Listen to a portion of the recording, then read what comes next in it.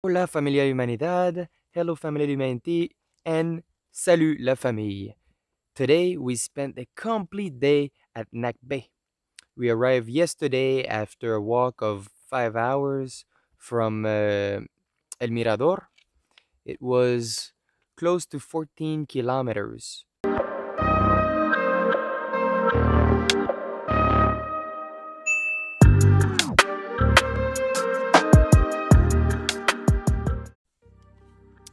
Nakbe is situated southeast of El Mirador and it's in the El Mirador Basin also. Like I said, it's 14 kilometers away from El Mirador and both cities were discovered after a plane flew, uh, flew low altitude in the 1930s. There is evidence that put Nakbe as the oldest city in the Maya kingdom going back to 1400 BC. So we can call this beautiful city as the mother of all. This is where they started to experiment with their mathematics. This is where they started to learn on astronomy. This is where architecture, engineering, and construction technique took place. So the first monumental pyramids were constructed here in Nakbe. It's the oldest city, guys. So it's really deep. It's in the center of El Mirador Basin. It's in almost in the center of the jungle. And this is where it all started. For now, with the information that we have today. The site was discovered in 1930 when flying low altitude with a plane, but it's only in 1962 that Ian Graham, an archaeologist, decided to start the investigation on this site, and he decided to call it Nakbe, which means along the way. Because when you fly over El Mirador and you go to Nakbe, you will see a beautiful Sakbe. So along the Sakbe, along the way, you will find Nakbe. So he called it Nakbe. And then, in 1989, an American archaeologist named Richard D. Hansen decided to start the excavation and investigation here at Nakbe with the help of Guatemalan scientists. And they found that the oldest structure here is dated to 1000 BC. It's a resident, residential platform.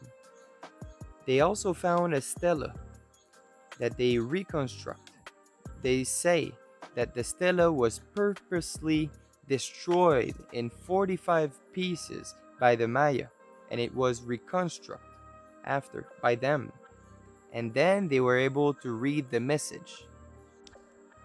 So after the reconstruction of Stela number 1 here in Nakbe, they were able to understand what was the representation of the glyph on this beautiful stela.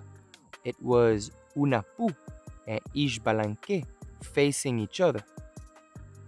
Despite the fact that Nakbe is considered a mega city as El Tintal and El Mirador, we don't have any data for its actual size or the population number.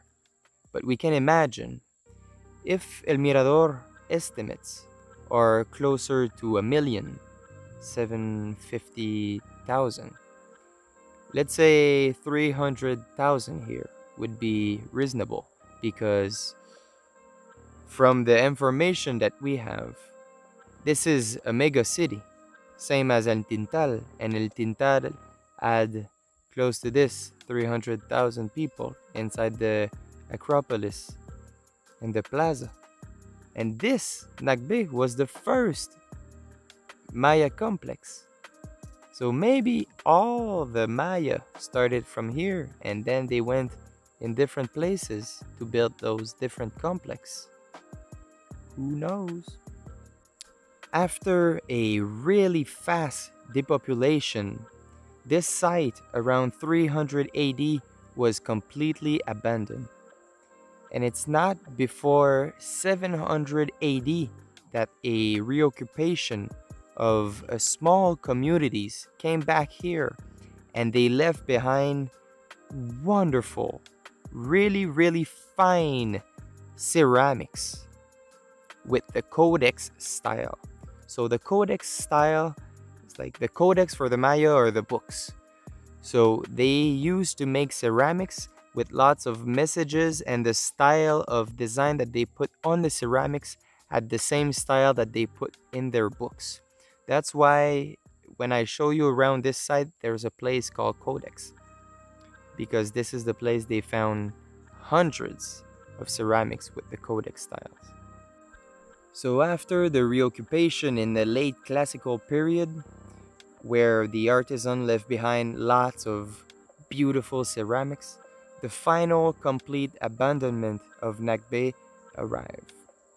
Sadly, archaeologists and experts and researchers believe because of the location of Nakbe, it's easy to believe, but Nakbe is perfectly in between Calakmul which is in Mexico, modern day Mexico, and Tikal. And if you know about the story of Calakmul and Tikal, you understand that it's not a good location to be. You're in between the two superpowers of the Maya in the classical period. They were at war with each other all the time, and you're like in between. So, not a good place to be. I will talk a lot more about Calakmul and El Tikal in future video. I will actually go to El Tikal, uh, not El Tikal, to Tikal when I go back to Flores, when I leave the jungle. But for now, this is the information that I have for you guys about Nakbe. Nakbe is a beautiful site. There is not much to see because everything is under the earth, so you need to use a lot of your imagination.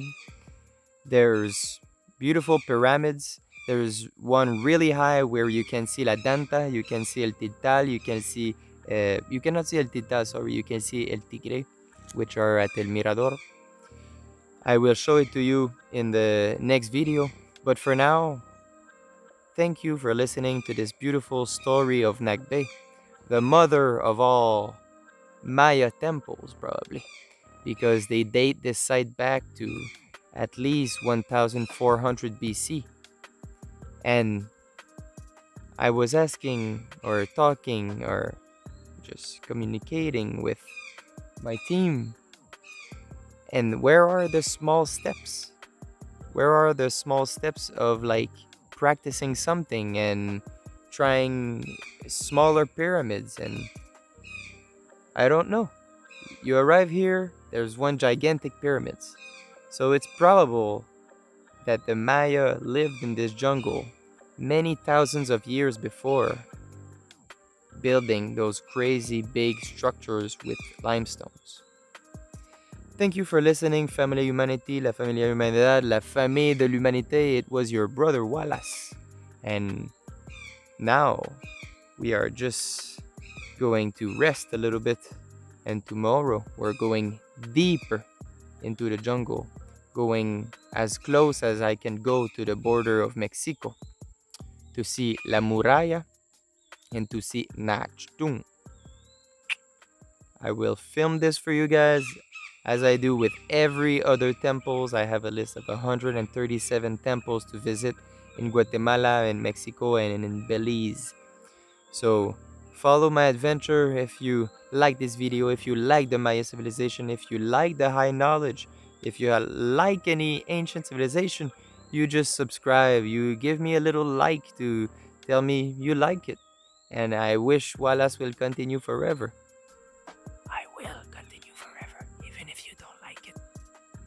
Because I like it. And that's what's important. I love you. And I see you in the next video.